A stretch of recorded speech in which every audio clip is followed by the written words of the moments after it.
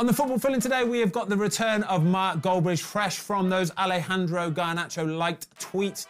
The Premier League title race unfortunately seems like it's over. It is now all in Manchester City's hands after Liverpool and Arsenal both lost at the weekend.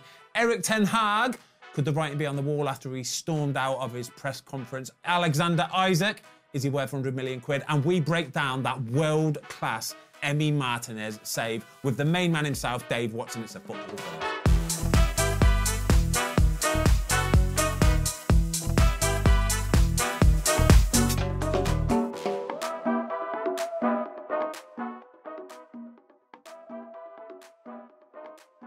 Right, boys, lovely to see you. Uh, good weekend, Watto? Amazing weekend, mate. Afternoon in Birmingham, and Oh. I saw a photo of a young Ben Foster in a restaurant. I took a little selfie. We can get it up later. He, uh, you sent it me as well. It was a young beardless Foster, wasn't Yeah, it? young. Horrible, mate. Horrible. Underneath this beard, right, it's a massive chin, and that's why I've got a beard because it covers it. It does. I saw a picture of myself actually 10 years ago on, uh, the other day. I looked all right, twat. Clean shaven. It's funny how I think we look better as we get older. Can you send me that picture as well? Then we'll put these pictures on screen. Um, Mine's terrible. Did, get did you have a good weekend? No. It was um, Footballing wise, it was an absolute joke. Man United were absolutely Even said lost. It was a, it was a bad weekend on the football front. However, you've caused a little bit of controversy this weekend, haven't you? Somebody liking your tweets. AG 17. AG seventeen. Yeah. The joke's on everyone else though, because what they don't realise is I'm the admin. Liking my own tweets. Um, I like it. Um, right, come on, we're going to start with Liverpool, lads. Um, you know, we, we all we all thought this was going so swimmingly well, didn't we? We're all looking forward to the end of the season. It's the closest title race we've had in years, and then all of a sudden this comes along. Liverpool at home to Crystal Palace. Surely it's a guaranteed win. They go and lose one 0 I think it's been coming all season, and it's such a shame. I, I mean, I just wanted them to win this weekend. I don't want City to win the league. I bloody hate them. But I think with Liverpool, it's sort of been coming. Um, I can only speak from sort of a United point of view that we been we went to Anfield. They had about 100 shots. Yeah. Draw. They came to Old Trafford. Should have won. Draw. Should have beat us in the cup. We're, we're, we're in the semi final. Sheffield United a couple of weeks ago at Anfield, I think it was, or whether was it Bournemouth, maybe both. They needed a late goal to win. They're creating so many chances, uh, but any Liverpool fans going to be screaming it at the screen. They they're just not putting the ball in the back of the net, and it's and it's hurt them, hasn't it? Did you watch this? Did you? Because watch this. I was, I, I just could not believe Liverpool were not hitting the back of the net. It just seemed relentless. Barrage, barrage, balls. It's not like Henderson even had many saves to make, did it? It's just that they were just missing absolutely everything. Well, I thought like Palace, uh, certainly first half, deserved to be in front. Yeah. I mean, they played some Did really well. nice. They had a couple of chances themselves. couple of big they? chances yeah, a themselves couple of big chances. for sure, and they deservedly probably one 0 up. But Liverpool had still missed chances. But I think second half, especially when you go into the cup, you felt the ball were going to go in there. And Henderson made one big save when Nunez uh, swung at it from the corner, but then they got block after block after Mm. Yeah. block. So he weren't making loads of saves. Um, and then Alisson made a. Uh, an incredible stop near the end when he just gets his Did big you see this? right hand way? on it. Did you see this? Oh? Oh, it's, it's incredible. It's, it's reminiscent, right, of Jerzy Dudek in the Liverpool final um, against AC Milan, or isn't it? It's completely reminiscent of that. He is two yards out, two yards out, right, and he just. This is the difference between a very top class goalkeeper, right? That he just he at that moment in time, the only thing he can do is just go like that and try and make yourself somewhere something, and it hits his hand, strong hand, it just goes over the bar, and I'm watching it going. That is like that's incredible. Yeah, but it's I, incredible. I just think it showed the way of the game because Robinson clears Robertson clears one off the line, doesn't he? I mean, Yeah. it was a good finish because Alisson's normally really good in the one v one situations. He clears it off the line, and you're thinking then they're gonna go on and they're gonna take a chance, but. As I said, the blocks, the bodies on the line, and, Curtis Jones had a big chance, one on one. He always- wide. when he Chris puts that when he he could puts that passed it wide, Salah, yeah. yeah. But I, th- I think with Liverpool, um, I think it just comes down to probably two things really. One, I was uh, listening this morning. Apparently, the 14 games in the Premier League they've gone one 0 down. Wow. So th- you're always going to That's get, not you're, sustainable. you're always going to get a chance. Yeah. And then you look at the Atalanta game. I mean, they're probably out of Europe now. Three 0 70% possession, loads of shots. Same with Palace. Palace deserve one or two goals. Liverpool should score three or four. And the same thing should have happened at Old Trafford. Same thing should have happened at At- Atalanta. And it's caught up with them. You know, this stage of the season, goals are harder to come by, aren't they? It does go a little bit. And um, I think they've just, I think Liverpool have had a fantastic season. And I think the Klopp thing has probably clouded people's view that there's going to be this fantasy end. But actually, when you look at that team, it's not Sadio Mane, Firmino, and Salah. It's not Fabinho, Henderson, everyone. It's not actually finished yet. Yeah. I think he's tried to fast track it because he knows he's going, and I think they fell short. But I still think it's a really good season for Liverpool, and I, I don't know what it's like actually playing the game, but I know Klopp said he was disappointed at the end, but you've had all those chances. What what more can you really say other than you should be finishing? It's not like they're not Yeah, creating yeah, yeah, chances. yeah, it's yeah. just so frustrating. They're battering for teams. Yeah. They're just not putting the ball in the back of the net. The, the, the Mo Salah chance at the end was the big one for me. I cannot believe he has got across to clear that. Mm. I, I, I can't believe. Or you can just see the net bulging, can't you? It looks like it's like a tap in, and then out of nowhere the ball. Well, you see Salah's face. I don't think he can I believe it. know. If the goalie saves it, then you think fair dues, but mm. he didn't seem there. I know. But, and that's, I think they got two or three massive blocks on it. But I just think they've, they've, they've fallen short a little bit. Klopp saying he's finishing. You don't know what the cumulative effect is Yeah, in, sure. in the mentality has been. Um, but I think for a team that's really trying to win it, they're too open now. They're giving too many away. Yeah. And when you talk about the stats conceding first and that, you're not going to win the league like that.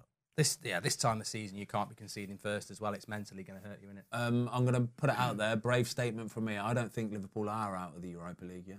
I still. No, I don't. I, I- think they've got a comeback in them. I can see them. Mass, that's, that's their game. I can this see is them Klopp's winning that legacy. 4 0, 5 0. I really can. I, I, I said this at the weekend. I think they'll win it because I think it's Klopp's legacy. Dublin final, last game in Europe. If they, if they go out on Thursday, potless. yeah. I mean, I know they won the Carabao Cup, so they get an early. They, you know what Italian teams are like. They're going to sit, and if you sit, it's hard to go attacking if Liverpool score. I'm, I'm going to get back on it. I'm going to get back, Jamie. Get some odds on the screen, or screen, all right. Um, right, let's talk about the other team in the title race, Arsenal. Um, so this one, paint the picture for it. Arsenal afternoon kickoff. They've just watched Liverpool drop points. Surely this is a massive opportunity for them to steal a march on everybody else. Um, and I saw this one coming, lads. I did. I saw this. Yeah, one coming. I- I- chances after chances yet again. Couldn't put the ball in the back of the net, and they go and get stung. At Yeah, I mean, I, I- watched the first half, then I went and watched um, Ethan's football match, and then I came back and, and watched it um afterwards. But I'd seen the score, and I wasn't surprised. I mean, they started pretty well, but didn't create massive chances. Havertz had one chance, Martinez uh, comfortable save. Then he makes a massive save, Massive save. massive save What with his save. right foot, and then Watkins, it's the post, and you're thinking nil nil half time. But I think it was the one team I don't think Arsenal wanted to play this weekend. Emery, old manager, he's done the double over them, Yeah. um, and he set he set his team up great. And Arsenal are not killers, are they? No. If you think about the league, wi- wi- what we talk about now, everybody's talking about Toney at Brentford and Watkins. He probably gets into Liverpool or Arsenal, and the game's different. Yeah. They're goal scorers. Yeah. I kept saying, I kept saying to Louis, we were watching. uh, My son's a, an Arsenal fan, and I, every time Arsenal had a chance, and they had lots of them in that first half. They really did. I know, I know Watkins hit the post, and but they had so many chances. Saka had a good chance that just takes a bad touch, puts it into the side post. Havertz had chances. Jesus, and I, I said to him, I said, mate, if Arsenal had Harry Kane up front, if they had a Harry Kane-like player, a clinical killer, somebody that would take those chances and put them into the back of the net. They'd be 3 0 up here at half time. And he was like, Yeah, I totally agree. And that is Arsenal's problem, isn't it? Probably similar to what Liverpool a little bit. But Arsenal, it's so glaring they haven't got that guy that will just clinically put the ball in the back of the net. Look, you know what? I think this league, if you take Man City out of it, we'd be all, we'd be sat here so excited, saying, mm. "My God, this title race." Unfortunately, you've got a team in this league that 115 reasons maybe, but 10 years of you know building a dominance and a squad that is way better than everyone else. Mm. And you look at Arsenal, and I know everyone's going mad, and some Arsenal fans are going mad, but the bottom line is they need a striker, they they need another midfielder, Yeah. and they need a left back. And Man City don't need any of them things. They've And, and that's the shortfall. I think you look at that game yesterday, Arsenal have got to score first and they've got to score in the first half. And I thought they played some good football up until the final third. There was a brilliant phase of play where I think it went through Odegaard and Rice and it went to the right. And it might have been the Trossard chance, it might have been another chance. But they just didn't put the ball in the back of the net. And Villa always looked like they were more clinical. I mean, he's at the inside of the post, Watkins, Tielemans is at the bar in the post. And and in the second half, I mean, the one thing I would say is Emery said after the game he didn't tactically tweak it. So what? Where did Arsenal go in the second half? Because they it was Villa all the way through. Yeah. And I think the big thing was when they took Odegaard off with 11 minutes to go, it's nil nil. But I don't think they were going to win it anyway. No chance. We've got, we've got to give a shout out to Villa. There's no surprise that they, are, that they are where they are in the league because you could tell that if they got half a chance, that I mean that Ollie Watkins chance at the end of the first half, it's a warning of what's to come. You know that if you give him that chance, and his goal was fantastic, by the way. I thought the defending was absolutely brutal. I know it's Emile Smith Rowe, it's not renowned for his defending, but when you've got Ollie Watkins running on an angle on his right foot, I'm thinking, just please, just get across the front of him. Just do all you can to get Put across. off a bit. Try and put him off a little bit. And it's almost like he was just, he didn't really know what to do. Ollie Watkins, too strong, too clever in that position, puts a ball in the back of the net, game over. But massive shout out to them because they've been incredible this season as well, haven't they? Yeah, I, th- I think they'll get fourth as well, and I think they deserve it. Um, I think they'll win that European trophy, and I think if, if Villa win the Conference League and get Champions League football, I mean, you're not far off a statue at Villa Park for Emery, are you? It's, it's incredible, really. Damn right as well. Before we move on to uh, to your boys, Man United, can we just talk about that Emi Martinez save, please? Um, and, and it's a world class save, isn't it? It's simple as that. World class save, and it's a save that's become the modern way. It's the futsal type save, but he's not overcomplicated the save. He's in a reasonable position at the near post. He's anticipated that he can't get across to cut the cross out, so he spins on his left heel, gets across, and obviously the flexibility, the reaction, and the right leg, the right toe comes out. And yeah, you can argue that the finish anywhere else, but these goalies now, the frame, the size of them, but it's the quickness to get that position to make that save. And I think he could play certainly for any team in, In the, the world, world. in the world. Martinez. Simple as that. Obviously, we know he's won the Yeah. World Cup, but if you talk about when we come on to your team next, they need a goalie like that to get to the level they're at because um, ultimately Alisson does it for Liverpool. Um, Raya has done really well for Arsenal, but I'm not sure he's got a big moment like Alisson or Martinez, Martinez in him Yeah. there and and that at some point, yeah, I know he's great and the play between the lines, but to win it all and do it all, you've got, have to make one. that save as well. Yeah, I think just talking about the save, the mechanics of it are fantastic. How quick and how agile and all of that c- uh, brilliant. But it's the it's the smarts of it. It's the cleverness of of seeing the ball getting pulled back, reading that situation, using his peripheral vision to see that Trossard is coming in there, seeing him there, and just knowing that because he's rolled it across the floor, there's no point going with your hands because you'll just get done underneath. It's you've got to literally open up, stick your leg out as wide as you can. Hopefully, it can hit you. And he has probably a very tiny split second to actually manoeuvre his foot into a position to open it up and clear the ball. It's world class. Horrific miss. It, it, it's not a horrific miss. Well, it's it a world class save. It's a world class save. He should be burying it. Miss. He should be burying it, but as a He's got goalkeeper, the time to go the other You can only save what you Oh, yeah, save. 100%. If he puts it in the far Listen, but- corner, but- you know you've got no But chance. surely you both agree with me on that. As a goalkeeper, a world class save is always probably a horrific miss because Well, I think the, the one thing I'd say, look, Mm. a lot of the time it would, would we, be. we know it's a big goal, and eight yards wide Yeah, is yeah, a big yeah. goal, so you think you've got a big target. But for me, he makes the save because he doesn't try and cut the cross out because he knows he can't get it. He's in a good position, not too tight to that near post, and he can't cover eight yards. It is impossible. Mm. So you can argue about the miss, but what he does is, if it, if you put it in my four or five yard goal, I'm saving Mm. It, and that's the difference at the level he's. And that gets into the striker's head then because he thinks, well, I have to put it in that three yard goal in the end there, which takes a lot more skill. I've got no time to react, so I'm just going to have to get as much of a contact on it as I can. That's the difference a world class goal he makes, all right? I love it. It's good chat, though, boys. It is really good chat. I love buried it. it. what a save! Yeah, what a save. Uh, right, your boys and Mark, Man United, another disappointing result, 2 all. Um, a lot kicking off of this game, actually. A lot kicking off. Um, I didn't actually get to watch the game. I was travelling down to London, like I said. Um, but somebody I was with was a big Manchester United fan. And he was showing me the goals. The second goal in particular for me, I'm just watching it thinking, what on earth? Like, Casemiro, mate, that is so symptomatic of Man United this season, isn't it? Yeah, I mean, you don't need to watch the game because it's the same old story. It's a bit of a basketball game where it's end to end and there's no midfield from Man United. Um, we didn't really actually create much in the game, really. I mean, I think Rasmus Højlund's had one shot in four games, which for a striker at any level is just disgusting. And uh, there are certain United fans getting on at him, but for me, it's the same thing that Haaland had a couple of weeks ago against Arsenal. People slag him off. He's not getting any service as a striker. You need that. Uh, Bournemouth should have won it. I- If I, I if I was a Bournemouth fan, I'd, I'd be like, why didn't we win that game? Considering I don't think it was a penalty. At the end. No, for- oh no, the for- handball. No, I don't think it's a penalty at all. Wow. I'm surprised Bournemouth didn't go Oh mad. What's going on with football? It's sitting there, like- What's- it's a deflection onto his shoulder. I mean, I'll take it. I'll What- take what's it. going on but- with I was actually here? surprised the ref give it Yeah, because me too. I think everybody was so surprised, and oh shit, he's give a penalty, but like they never asked him to review. Uh, uh, yeah, Do you, I mean, do you know it's what? A sorry, do you know what a sorry state we're in at the minute as well is? The, obviously, it hits his shoulder, it off of the deflection. But Harry Maguire is stood just outside the box, right? And the second it hits his shoulder, his arms go up in the air, and he's demonstrating to the referee. He's pointing his hand, and I'm thinking, what on earth? Like that's where we are now, where we know there's a chance that that could get given as a penalty. So you have to claim for everything. Oh, yeah. It's- Well, it's Man, so Man. City have been brilliant at this for years. They, they, they sort of coordinated. Four of them run to each corner of the thing. Four of them run at the referee, and it, and it clearly works because I was like, that's not. You know, I was like, it won't get overruled because the ref on the pitch has given it, so he's going to get given. But God knows what that was all about.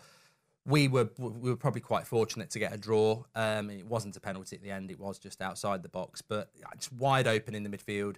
I felt for the lad at the back, um. He's he's at fault for both goals as well as others. But you know, when you when you've got four centre backs out, that's going to happen. But the big thing for me was just Ten Hag. I I don't believe sacking the manager's the way to go. But watching the game on Saturday, he's either doing it on purpose or you know I, I don't or he's given up because you know Rashford shouldn't have started for me played 90 minutes. Casemiro shouldn't have started played 90 minutes.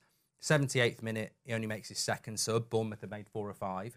And I'm like at what point do you watch that as a manager and go I don't need to make subs. It's I don't fine. need, I don't need to take Yeah. Casemiro off. And you're like you're going and that's the problem with United fans at the moment. They're looking at it and going we don't want to sack another manager but what the hell is he doing Some, I think something has happened because it's like all of a sudden he's lost his cool. I agree with you. Not making a substitution until it's that's criminal. With the way the game was going, and I've seen the get high, fresh legs on. the, the effort that some of the players were putting in is criminal. And then the, obviously the the press conference at the end, mm. storming out after. It, it's kind of an innocuous question, isn't it? It's kind of the sort of question that you would be used to being asked if you are a Manchester United manager. And the way that he just seems like he's lost his rag now, and it's like no, not got no time for it, and gets up and storms off.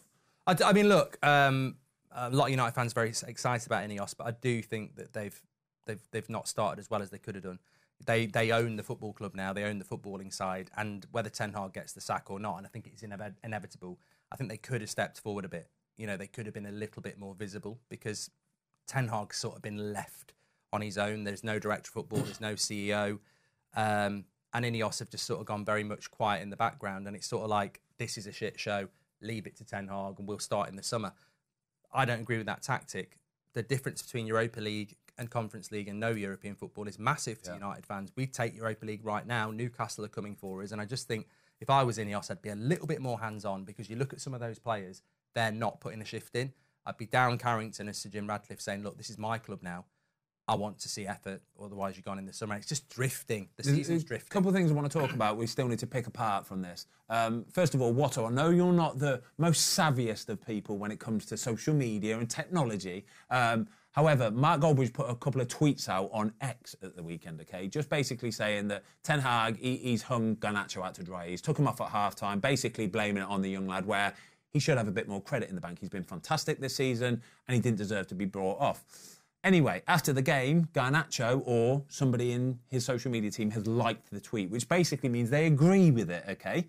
How does that go down in a football club when you have a player almost sort of, it's almost his way of hitting back at the manager?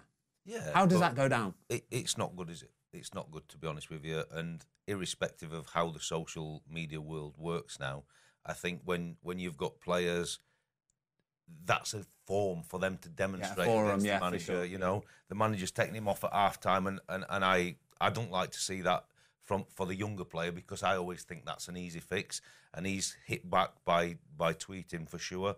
But I think there's there's certainly plenty of things wrong at Man United, and the dressing room now seems to be one of them. Because I'll be honest with you, that was a brutal performance. Bournemouth could have won four or five. They had chance after chance, kept dragging shots uh, wide of the post. Man United are wide open, and you made the point about Højlund having one chance. Man United, or like any top team, should be dominating that game, in possession, in control of the match. Bournemouth should be living on scraps. Man United now play living on scraps. Yeah. And the way they are actually playing because they're open, it's all about the transition. So maybe they think by cheating, if they do nick the ball at some point and get lucky, they can go and win a game. But there's plenty of things wrong there, and I think um, Ten Hag just looks like he's stood there waiting, waiting for the end. To be honest with you, and I think his reaction in the press conference, you've got to be better than that when you're Man United manager. Look, Man United can't drop, afford to drop a point or lose a game at any time. That's what that club is. That's what uh, Sir Alex Ferguson has made that football club. And if you're managing that football club, you've got to answer the awkward questions because you're the manager of that team and you've got to be able to deal with that. But there just seems to be so many things wrong in the whole environment with it. I, I'm kind of lost with it, to be honest with you. Yeah. Because it's just not, there's just not a performance there. H- How does it work? Um, so obviously the second goal, um, Casemiro, he's a holding midfielder. He should be that engine, that that rat in the midfielder, the disruptor, the somebody that breaks up all the little attacks, gets in front of people's faces.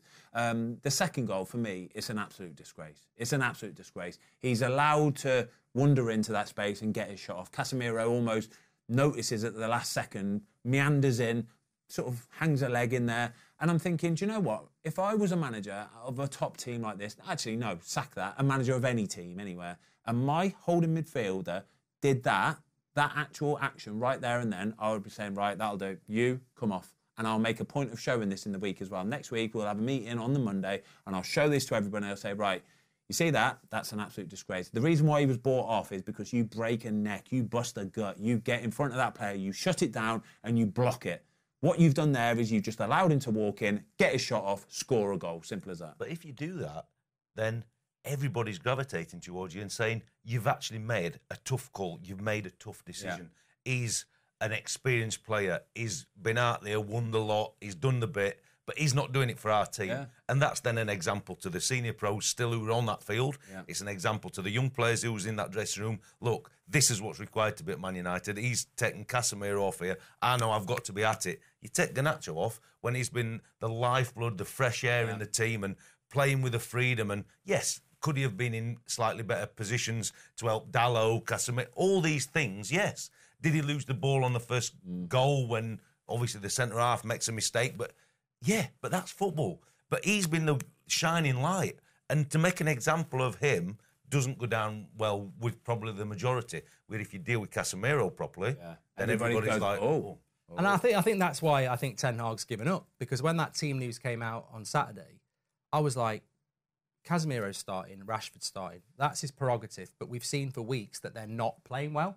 So if he'd dropped Rashford and Casemiro on Saturday, the whole fan base on social media in the ground would have gone, look at what he's done there. Yeah. Everything we would do. Yeah. I'm behind this manager. What does he do? Sticks the two players on the pitch that nobody would pick. So the fans straight away are like, well, they're not picking themselves. Yeah. It's the manager. And then he's got 55 million pound Mason Mount that most people want to see on the pitch. 78 minutes, he's looking behind, trying to figure out who to take off. Brings off Kobbie Mainoo, and you just go, yes, the players are the problem, but the manager is basically just taking all the heat off the players and Yeah. putting it on himself. And you're like, why would you do that when you're hanging by a thread? And I just think.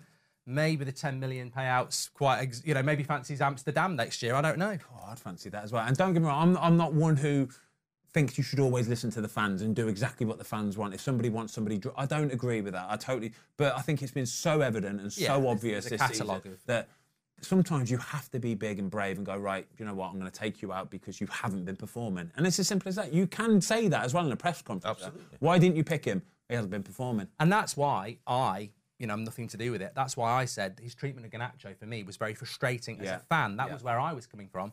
Well, if a player sees it and likes it, they're obviously very frustrated in the dressing room with yeah. the same things, aren't they? So, you know, they shouldn't do it. They shouldn't but, do but it. They see everything, don't they? They see. We've got no idea. We're talking about here the lads who we picked in the match on Saturday, and we're talking about the effort, commitment, and all that levels. But everybody else in that environment sees what's happening Monday to Friday, and you know if you don't play with your heart and soul on the Saturday, what's the training like Monday to Friday? Does this mean that Mark Goldbridge is like the voice of reason? Like this is it was a sensible tweet and it made sense and people have liked it and everybody's jumped on it and gone, yeah, fair enough, I totally agree. You've, you've actually spoke sense for once, mate. Yeah, and I don't think the players should do should be doing it because obviously it draws attention. But in a way, you know, Marcus Rashford was out on the piss in Belfast. Jadon Sancho um, refused to apologise and put a tweet out. Antony's had problems. Varane's had problems. you know, yeah, people won't like the fact that Garnacho's like the tweet, but you know what? As fans, sometimes we're mushrooms in the dark. It's very evident that the, the, the dressing room feels the same as the fans, that they feel that there is preferential treatment, favouritism, etc. Um, so at least as fans, you you know this is probably the end because it's it's the, the players are feeling the same as the fans. What do you think? Do you think it's the end for Ten Hag? It, I think it is. I don't want it to be because I just don't want to sack another manager. I'm very stubborn, but um, I can't see a way back. The players, key players, are just not turning up. What do you think? Why? I think he's he's likely to see the season out, but I just I can't see him starting next season. I, I, where do you think they're going to finish? I mean, I, I don't even know where they're going to finish. I mean, they've got three very winnable games, which is sometimes dangerous. You've got Coventry in the cup, where Yeah. they'll be favourites, and then they've got Burnley and Sheffield United at home, who are the two worst teams in the league. If he wins those three games, maybe Rashford scores a few goals. You could you could almost go, oh, it's a new dawn. But we also know we've got Arsenal to come as well. Um, yeah, before we move, we're going to talk about Newcastle Spurs. I mean, New- Newcastle absolutely spanked Spurs, by the way. Um, just quickly looking at Arsenal's next four fixtures Bayern Munich away, Wolves away, Chelsea at home, and Spurs away. Wow, there is four fixtures there that can define a season in an absolute nutshell. Um, let's talk about this Newcastle game then. Newcastle, wow, I did not see this one coming. It's a little bit reminiscent for me of, do you remember, I think it was last season, 5 0 at half time. Oh, yeah. 5 0 at half time, finished 6 1 in the end. Um, but this one, 4 0 to Newcastle. Watto? But Spurs had the better of the game for the first 15, 20 minutes. And again, we're talking about that centre forward being able to score a goal. Um, They need Timo a Harry Kane, don't they? Yeah. They need a Harry Kane. Did he used to play for them? um, Timo Werner, you know, obviously they brought him in in January, and he missed a couple of really big chances again. And the play the way they play. They're a very open team, expansive going forward, create chance after chance, but they're not killers in that forward area. And then all of a sudden, we know how they defend, don't we? And Isak, well, I mean, fantastic. But you- you're in one-on-one situations, clearing clearing balls. I actually thought for the first goal, for for how bad everything was. Romero, for an experienced defender, he speeded the play up for him, and he's forced him to play the pass inside him. If he'd have just stood there, he could have got back. But as he's committed in, he just let him play inside him. And I thought that and naive, but look, and then he uh, he obviously sits him on his backside. And I felt, I felt a little bit for Micky van de Ven. There's a couple of it- pictures it- going around on the hard, that internet of him. He had a bad game. He, he's, he's sort of curled up in a pretzel on a few of them. One of them, he's on the floor, sort of screaming. But, Um, but that's where I think his partner's not not helped him out. He's forced him. He- he- at that point, you don't speed up the game for the opposition. You slow the game down for him. yeah. And uh, as soon as he's played inside him, and then he's trying to get back, and it's very difficult. He steps inside, and it's a good finish. Is this this is a bit of a worry for Spurs because I think think a few few weeks ago they got beat by Fulham three 0 out of nowhere. Yesterday they got beat four 0 by Newcastle, kind of not out of nowhere, but this has to be a little bit of a worry for Spurs. Somebody who are trying to sort of break into that sort of top four places of the Premier League, isn't it? Well, I think Ange has done a great job and he's had the plaudits, but I think also some of the criticism has been that they're a bit one dimensional. Yeah. Um, you can definitely counter them. And Newcastle had 30% possession at St James's Park and they've won, they've won goals. 4 0. So that is Eddie Howe has, has done Ange big time there. And I think that, yeah, they, they, they're, they're very similar up front. Son, he took him off after 57 minutes. I mean, I'd applaud that. Yeah. That's something Ten Hag never Yeah. does. You know, he, you know, he obviously said, "You're my captain. You're not performing. Get off the pitch." So I, I, I like Ange for doing that, and it was one of those days. And Van de Ven will never have a game like that again. He's a brilliant signing, but you know, Maddison's not the player he was before the injury. So they've, they've got a few problems, but they're they're a much stronger team than Yeah. Newcastle. They've got a better bench.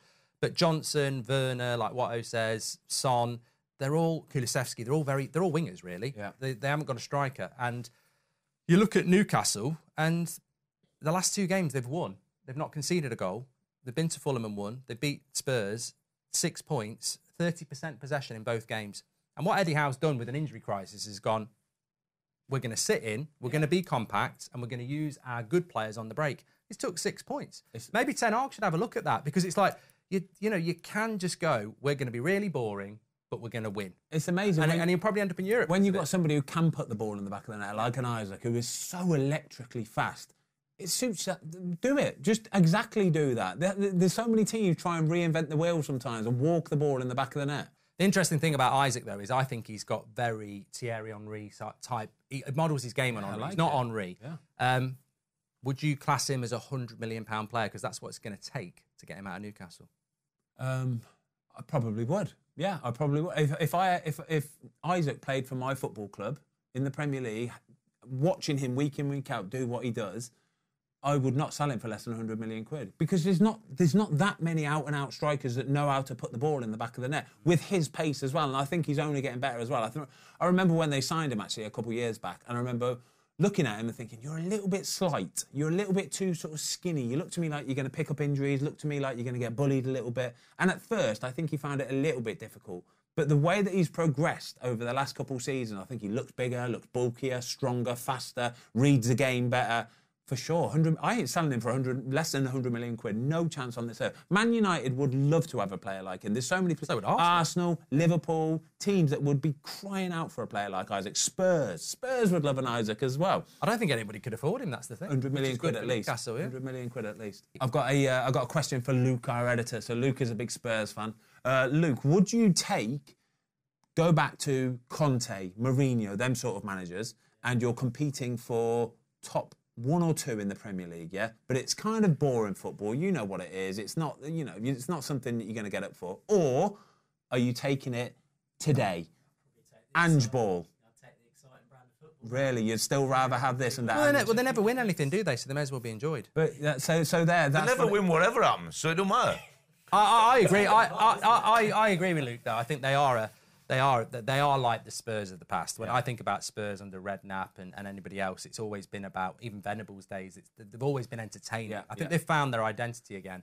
But yeah, the the, the the thing for them is it will be a good season if they finish fifth compared to where we thought. But next season is going to be the big one because that's the honeymoon's over then, isn't it? Yeah, it's like right. where, where they're going to be. Right, we're going to talk about the relegation battle in a minute, lads. I really want to have a little bit of chat though about fourth and fifth and who's going to get it out, Spurs and uh, Villa, because we've got the fixtures in front of us here. Spurs' next fixtures are absolutely brutal. So, uh, starts with the North London derby, home to Spurs, and then it's Chelsea away, Liverpool away. A game they should win at home to Burnley, and then it's home to Man City. Um, whereas you look at Villas, and they're not actually too bad, are they? Home to Bournemouth, home to Chelsea, away at Brighton, home to Liverpool, and away at Palace the last game of the season. Um, Villa already three points ahead. You would, you would expect Villa to get fourth, right? Two wins and they'll do it. Yeah. You reckon? Yeah. 69. I can't see. Spurs have got six left. They've got a game in hand, Spurs, so they can they can match Villa if they win their next game, which is the North London derby. I Um, see them getting three wins, to be honest. So oh, I think Villa three wins. If they get to 72 points, it should be Spurs, Villa's. Spurs have got, well, they'd, they'd they'd have to win. They've got to do the lot, really. Yeah, they've got to have beat all the big boys to. Put to- Villa under pressure. What a what a season from Aston Villa. Well done, you. I think Villa could get in there in fourth and actually win the Europa thing as well. The, the thing is, What as a well, though, then. we all said all season long that we should be able to get five places for Champions League this year. It's not so likely now, is it? If Arsenal lose against Bayern Munich on Wednesday night, then it looks likely that Germany will be that team that get the extra Champions League we League need space. two to come through this week, don't Yeah, we? we do. Liverpool, Ar- Liverpool Arsenal, Uh, West, Ham, and City. And they could all go. Oof. I mean, I love City to go. This is so. This is massive. this is a massive little run, and you hate Man City. You do. Right, relegation battle, lads. Um, right, start here. Who's going down? Simple as that. Who's going down? Sheffield United, guaranteed. Uh, honestly, though, if Burnley would have held on to that win, if they could have just held on for a few minutes more, they would have had a little shout as well. Yeah, th- th- I, I just think they've had so many near misses, Burnley, in the last six, eight matches. And to concede a goal like that, look, he'll never do that ever again. It's it's just a, a, a total lapse of concentration. He's not even getting pressed. I think Brighton, I mean, it's just a point from nowhere. He's too busy thinking about what he's going to do with the ball, isn't Absolutely. he? He's too busy thinking, when I get this ball under control, I'm, I'm going to pass it out to there, and oh my God, the ball's gone in the back of the net. It's yeah, it's one of the craziest goals because it's not even hit hard at him. He's just had a, a real lapse there. But I think that one moment summed up Burnley's whole season. They've been so close, but yet they're going to be miles off it in reality. I think um, the last place will be between Forest and Luton, and actually Luton have got three real good fixtures at home, and I can see them putting Forest under massive, massive pressure. And I think Forest not holding on to that win Yeah. and conceding another set piece. I think the stats are that they are the worst team in the league for defending set plays, and that could well just be the factor that takes them down. There you go. It goes to show how important set pieces are. That's why all these all teams now with all this fashionable new set piece coach, but defending it and not letting so many set pieces in, it's massive, man. Definitely, I agree with Watto. I think that uh, Forest have got the much more difficult run in. Yeah. Luton have got three winnable games at home. Um, I, I think that you know, as much as we go on about the Premier League, it's probably in danger of being really boring. Man City are going to win the league, and the three promoted teams come up and go down. But I think Forest are going to go down. Um, be interesting if they go down by the points deducted, because you know, obviously that opens up a bit of a uh, uh, situation. But I think Luton deserve it. Yeah. You know, I, th- I do think they're a bit of a hipster sort of supported team because everyone sort of champions them and wants them to stay up. Um, but it'd be nice for them to stay up. I think they've they've played the better football, and I think that's how I judge it. So it's in their hands. You know, they've, they've fought for it. It's in their hands. Unless Forest start getting results against Man City at home and stuff, which you don't think, I think it'll be Luton. I um, considering I played for Watford, I shouldn't say this, but I have really enjoyed watching Luton this season. They're always in a game. They'll always give it a go, and I think that on its own means that they should be the team that stay up. And we'll see. It's always interesting. Come the end of the season, you get some weird and wonderful results. Um, we've got to talk about uh, what's going on in Germany. Um, how sorry? Harry Kane's going how, on in Germany, How that's sorry do we feel for Harry Kane, lads? You know Not, what I mean? not, not, not at all. Not at all. Yeah. Richest guy, rich, rich, rich, rich. but he, and, de- he uh, deserves to win something. The guy the needs Euros. to win something. He's going to win the Euros. God, you're getting carried Only away there. Southgate can stop him. You are getting carried away. uh, That's that should be the banners. Every, you know when we're driving around the summer, all the billboards. Only Southgate can stop him. Do it the for big Harry. picture of him in his waistcoat. Do it for Harry. So Bayer Leverkusen at the weekend um, won. I think they absolutely battered somebody five 0 didn't they? Six, Uh, I think, Six it. 0 um, They've won the the Bundesliga. Um, the first time in 11 years Bayern Munich haven't won it. Harry Kane signs in the summer. Obviously, he's just going there to strengthen them and win an X amount more. And Bayer Leverkusen go and do it. But what an achievement for Bayer Leverkusen, though. The whole season undefeated. Well, looking at the stats here, no, and no team's ever gone the full Bundesliga season without losing. They've got they've won it with five games to spare. I think the the momentum and everything they've got at the minute is is phenomenal. I think uh, last week or the week before they were losing at home, come the 90th minute and won two one. Um, it's like the Man United of old, um, and obviously everybody's talking about Alonso. Has he made the right decision? If he's committed to them again for next year. Um, Mark's, it- Mark's not um, shaking his head. well, look, we all we we we gonna give them massive credit. Hopefully, they go the full season unbeaten. But the Premier League's the place to be. And if he wants to showcase that he is Top. a manager with undoubted quality, he has to come and challenge himself. What do you make of uh, Xabi Alonso pledging his future to Bayer? I think he's placed his future to Real Madrid.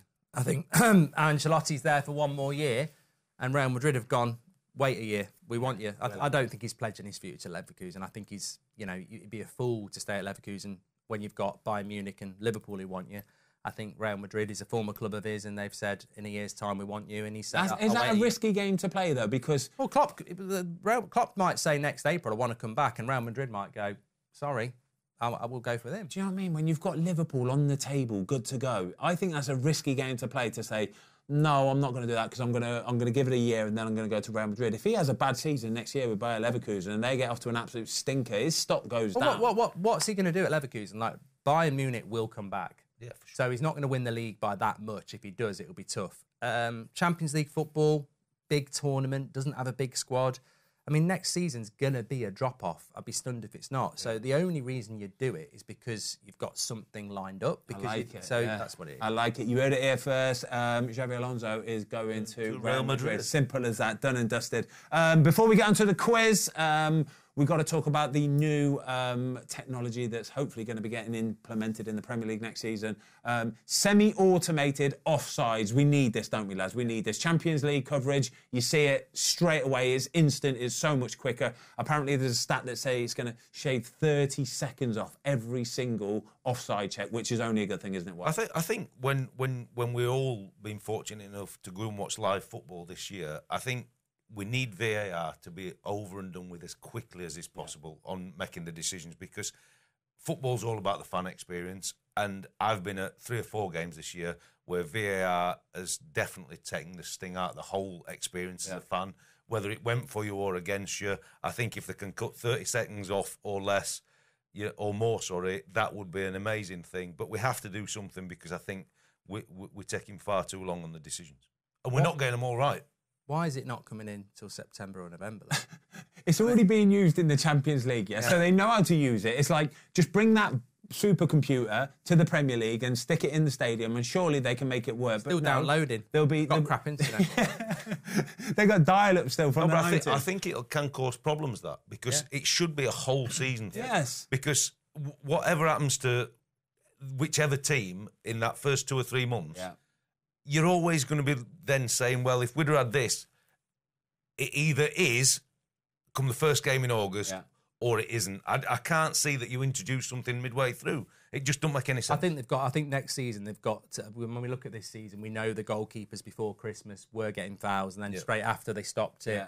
Uh, the handball rule. I think the the the PGMOL this summer should be working double time to go right. We want consistency on red cards. We want consistency on handballs. We want the biggest thing we've lost this season is the ability for a fan to watch the game and know what's going on. Yeah. And and, and and and they've let that go. And you know, like the Bournemouth handball, I didn't think it was, but then I don't know the off- handball rule anymore. Yeah. I don't know what's the red card anymore. So look, this is a positive step, but they've they've got to. The, the, it's so simple. Just let the fans be able to referee a game. Yeah. Because that's what we want to do. And the only way you're going to do that is have consistency. So it's a step in the right direction, but I don't know why we can't have it from August. because it'll be something to do with contracts and money and red tape and laws, and that'll be all it is. Yeah. Premier League is the best apparently, but we haven't even got the best technology. Uh, quiz time, lads. We good to go? Yeah. Good. Come on. Got it. Okay, Jamie, are you ready with your 10 questions? Yep, I'm ready. You guys ready? We are good to go, Yeah. mate. Question one. Which team is the only team to withdraw from the FA Cup when Man they're reigning champions? Manchester United. Because of the Club World Cup. yeah, I was about to say it, yeah. Can you imagine that? Can you imagine doing that nowadays? Pulling out of the FA Cup so you can go and compete in the Club World Cup? You, you wouldn't survive, would you? It wasn't Man Pathetic, isn't it? They were forced to do it. 1 0 Politi- Ben. Politics. Politics. Question two. Which Portuguese midfielder joined Manchester City from Monaco Silva. Bernardo. In 2017? Bernardo Silva. Oh, Monaco. Yep, for didn't know 50 that. million euros. Did not know that. Yes. Could have been a bit slower then, couldn't I? Yeah, I need to wake up here. Come on. I thought you'd been up at three o'clock reading your bloody Footballers Digest or whatever. Or just tapping into Jamie for the answers. Question three. Which team in the Premier League has the least amount of players being called up to their national Luton. team this season? No, not Luton. Sheffield United. Sheffield United. Sheffield United got four, and I'm pretty sure Luton have got six. Ah. What did it say Let's go though? with the shittest, yeah. It's got to be one of them, hasn't it? Sorry, Sheffield United. They would admit it. Two, one, nil. Question four. The Buckinghamshire derby is between MK Dons and what Luton. other club? No, Reading. no. The Buckingham Buckinghamshire derby is between MK Dons and what other club? Oh, that's quite tough, that. We've had a go. Come on. Who, who's it? Say again. The Buckinghamshire derby is Dons, between MK Dons and what other club? Buckinghamshire. Bloody hell. Five. I'm struggling for what where the the, the catchment area.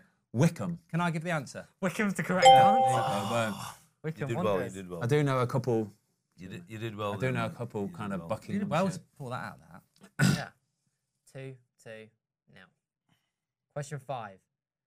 In the 2005 06 Premier League season, who was Blackburn's number one goalkeeper? Friedel. Flowers. Brad Friedel was the correct answer. Friedel and Flowers. Oh, I know what was going on here again. Can I have the list of who's coming on the podcast for, ne- for next week's quiz? Or who's been on the podcast in the last 10 weeks? Yeah, we've got Brad Friedel on the podcast tomorrow, by the way, everybody. Yeah. I love Brad Friedel. What a man. Exclusive. What a man.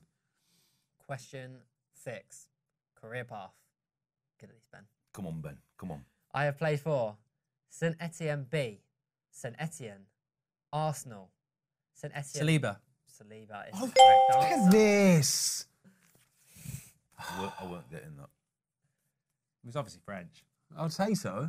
I couldn't think of anyone else. Saint Etienne, Saint Etienne, Saint Etienne, Saint Etienne. Yeah, we actually went to Arsenal, then went back. Went back on loan, yeah.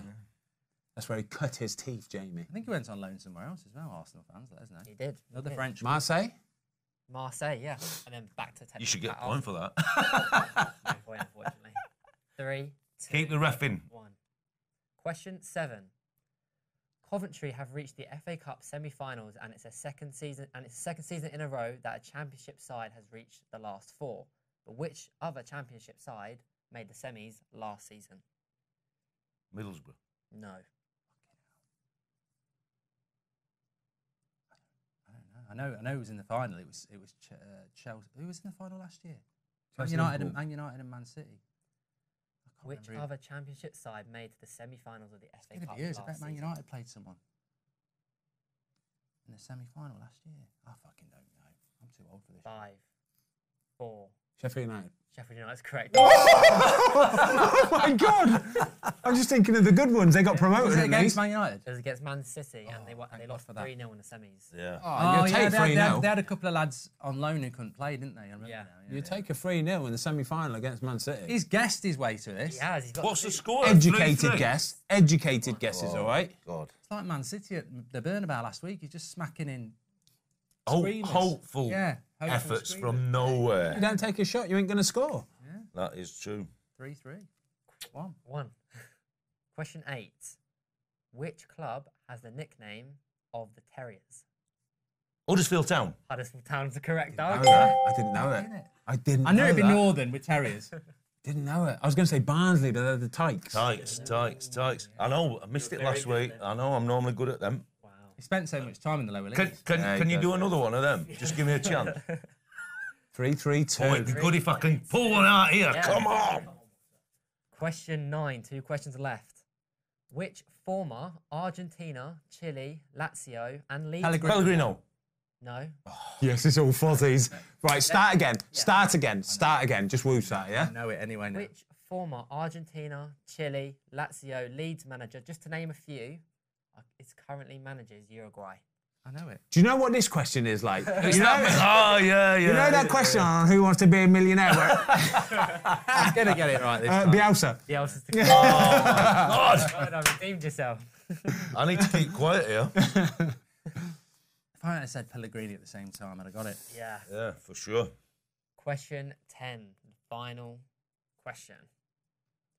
Argentina are joint top with 15 Copa Americas, but who is the other nation who's also won? Brazil. 15? No, What? Brazil. I, I would have said that. That's why Brazil I didn't won it. nine. Copa Americas, Yeah. 15 wins. Um, joint with Argentina. I'm gonna just going to go with. Um, I'm going to go. I, I don't know. I'm just going to have to go with Uruguay. Uruguay is the correct Oh! answer. They were very good in the World Cups. Yeah. You could have got involved in that, you I- I know. couldn't get You could have asked. that. You I could have forgot what I was in it. No, I, cou- I couldn't get involved. He's, he, he wants out, you I'm to get the right answer. I'm out, rubbish, I'm yeah? out. Shit, I I'm really out. took You're not out of it. I'm what- out. If what I would have got in with Uruguay, I'd have killed Just myself. before you Not killed myself, literally. I'd have kicked, kicked myself. In a quiz sense, I'd have been suicidal. But Just leave I it, forgot, all I right? We get it it. We get it, all right? He's digging a hole. I'd have said Mexico just to make it interesting. I didn't realise what I was still in it. I'm there taking my time. I And if just- he'd gone Uruguay, I'd have been like No, the guy who's looking at the last piece of cake. Staying quiet for you. So this goes to a tiebreaker, yeah? Tiebreaker Oh, question. he'll win this. He's Thi- had it thi- for This time it's just me and Mark. It's not him, no? No, what's so? All right, cool. I didn't play the last question, did I? Oh, no, you didn't. But you were involved, you know that, yeah? You could have answered it. Question 11, tiebreaker question. Who is the highest scoring Brazilian in the Premier League history? Who is the highest scoring Brazilian Firmino. in Premier League history? And Roberto Firmino is the correct answer. Yes! Come on, you beauty! He's got 82 goals. Yeah, I've heard that question before somewhere, but I second guessed myself for some reason or something, but buzzing my trees. That, that was going to be my guess. Yeah. But I didn't want to guess it because I knew who it was if it wasn't him. Who was it? Would it have been? I would have, I would have had more of a think about it. Ah, get in there. Um, can we quickly update was- the, was- the- Hey- the quiz Jesus scores, what I was please? thinking. Um, so as it stands, Fozzie on 11, Ugh, Mark on 9, Watto is on 6, and then we've got some also runs that You, you're going to you have no can't chance compete. whatsoever. You can't compete when he's whacking in worldies like Wycombe and I've done really one. well today. I've done really Yeah, well you've today. answered some good questions. Might have been my best performance ever. Yeah, Well, last week's were your worst, so Prime Fozzie is what it was, all right? Prime Fozzie. Um, thank you all for watching. I hope you enjoyed the show. Watto, Goldbridge, incredible. Nice to see you all. Next week.